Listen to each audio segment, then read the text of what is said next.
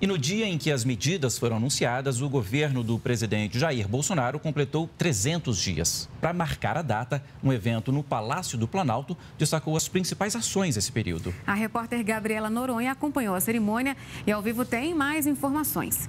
Gabriela, uma boa noite para você. Boa noite, Aline. Paulo, uma boa noite a todos.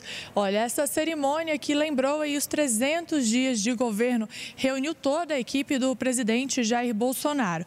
Em discurso, o Bolsonaro relembrou uma viagem recente à Ásia e ao Oriente Médio para atrair investimentos para o país e comentou sobre a mudança na imagem do Brasil perante o mundo.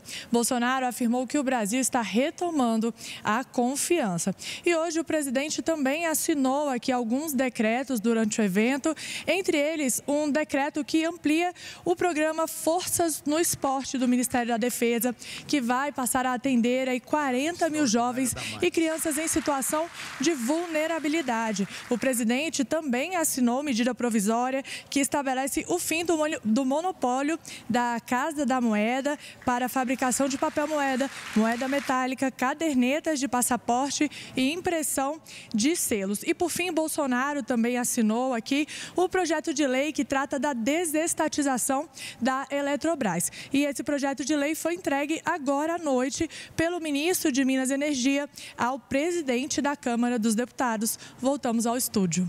Tá certo, Gabriela, muito obrigada.